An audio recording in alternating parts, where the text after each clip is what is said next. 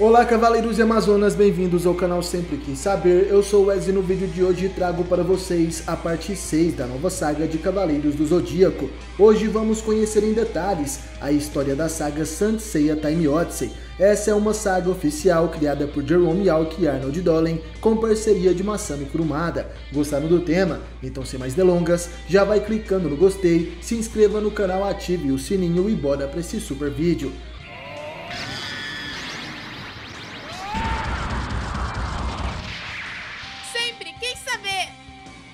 Somos levados até o pilar da criação que fica no Monte Cáucaso.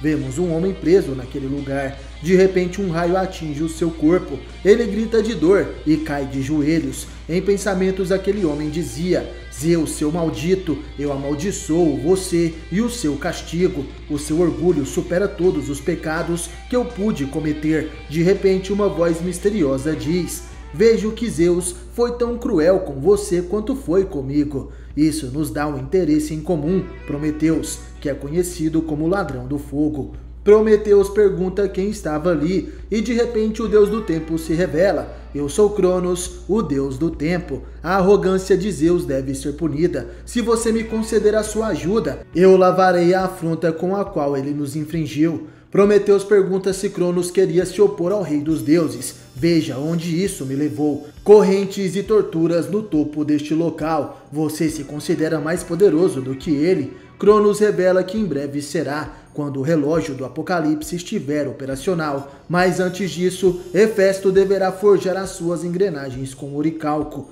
o metal lendário dos deuses. Para isso, precisará recuperar em suas fornalhas a chama divina que você um dia lhe roubou para oferecer aos humanos. Foi por isso que Zeus o aprisionou aqui, estou certo?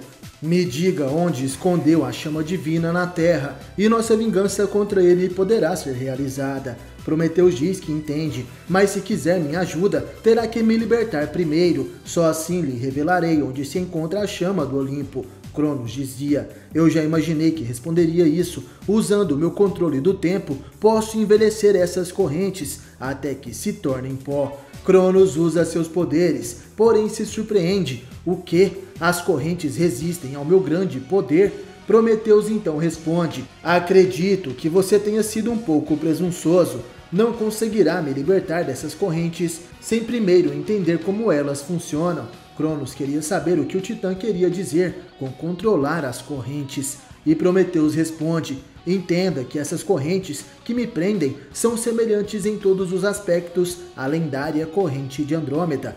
Cronos se surpreende. A corrente de Andrômeda, você diz, aquela que, segundo a mitologia, aprisionou a jovem que foi oferecida em sacrifício ao imperador Poseidon, essa mesma corrente que foi integrada a uma armadura de bronze pela própria Atena em pessoa. Prometeus fala que sim, isso mesmo, é dito que apenas o cavaleiro que se mostrou digno de usar a armadura de Andrômeda conhece o segredo para controlar elas. Mas mesmo assim, ele deve despertar o sétimo sentido para libertar todo o potencial dessas correntes. Se você testemunhar esse momento, talvez você também possa descobrir esse segredo, Cronos entendeu, e você diz que eu ainda precisarei ser paciente enquanto aguardo pelo dia em que o Cavaleiro de Andrômeda eleve seu cosmo ao máximo. Prometeus responde que sim, mas você é o deus do tempo, então a paciência é um luxo pelo qual você pode pagar. Cronos responde: Descobrirei o segredo destas correntes e retornarei para te libertar. Quando este dia chegar, será do seu interesse cumprir a sua parte do acordo, ou então a minha raiva será pior do que a de Zeus. Cronos conta essa história para seu subordinado chamado Arctos, que perguntava: É por essa razão que esperou até hoje, Vossa Majestade? Cronos responde que sim, desde que Prometeus me revelou isso, tenho esperado pelo momento em que o Cavaleiro de Andrômeda elevará o seu cosmo até o máximo, e este dia finalmente chegou. Observe, para salvar a deusa Atena, cujo coração foi perfurado por uma flecha dourada, os Cavaleiros de Bronze devem derrotar os doze Cavaleiros de Ouro para chegar até o templo do Grande Mestre. Mas não importa o quanto eu disseque as lutas contra os Cavaleiros de Ouro, eu não consigo desvencilhar o segredo da corrente de Andrômeda. Há quase 12 horas, Andrômeda vem travando a batalha mais terrível de sua vida, a Batalha das Doze Casas Zodiacais. No Templo de Gêmeos, eu vi essa corrente ser destruída pela ilusão do Cavaleiro de Gêmeos, enquanto tentava enviar Andrômeda para uma outra dimensão. No entanto, sem eu entender o porquê, eu vi essa corrente se reconstituir. A extremidade defensiva de sua corrente envolveu o cavaleiro em uma espécie de defesa em círculos, e sua extremidade ofensiva cruzou as dimensões para atingir o grande mestre e permitir que Shun vencesse esse combate. E onde ele está agora, ele acaba de travar um combate mortal contra o guardião do último templo, Afrodite de Peixes, mas novamente não consegui descobrir o segredo das correntes. Ela foi destruída pelas rosas piranhas, mas desta vez não conseguiu se reconstruir. O Cavaleiro de Andrômeda realizou um milagre para vencer sua luta sem as suas correntes, mas às custas de ter o coração perfurado por uma rosa sangrenta que bebeu o seu sangue e agora sua corrente está perdida, destruída para sempre. Maldição, eu não tive tempo de compreender como esse cavaleiro controlava sua maldita corrente. Eu preciso de outra chance e para isso a corrente precisa ser reconstruída, então só me resta uma solução. Nesse momento, Cronos utiliza sua habilidade a expansão temporal. Ele dizia: Devo desacelerar a última hora do relógio do santuário para oferecer ao Pégaso o tempo necessário para derrotar o grande mestre do santuário e assim salvar Atena. Vemos Ceia chegando até a estátua de Atena e dizia: Deus Atena, me confie o seu escudo da justiça, que a sua luz salve a sua reencarnação atual. Ceia pega o escudo de Atena, que agora brilha feito ouro, e com sua luz expulsa o espírito maligno que habita o corpo de Saga, além, é claro, de salvar a vida da Atena Saori. Após a derrota de Saga, Saori toma Ceia em seus braços. Ela dizia: Shun, Shiryu, Yoga Ikki e você também, Ceia. Eu devo minha vida a vocês. Correndo todos os riscos, vocês limparam o santuário das forças malignas que o governavam. Os cavaleiros de ouro sobreviventes acompanhavam a deusa e diziam: Atena, nós pedimos o seu perdão, fomos enganados pelo grande mestre, nós lutamos contra os seus cavaleiros, mas a sua coragem e abnegação souberam nos conduzir em direção da verdade. Nosso primeiro ato de penitência será oferecer o nosso sangue para ressuscitar as armaduras dos cavaleiros de bronze. Mu dizia: Eu, o cavaleiro de Ares, prometo reconstruí-las e torná-las ainda mais poderosas do que jamais foram. Cronos, ao ver aquilo, diz: Foi para isso que eu os ajudei. No dia seguinte, ao amanhecer, somos levados até o templo de Ligner, na colina de Cronos. Vemos alguns cavaleiros das 12 horas. Esses são os servos de Cronos que diziam: Mas que ridículo! Eu pensava que Atena, por ser uma deusa olimpiana, fosse nossa inimiga. Por qual motivo nosso Deus a salvou?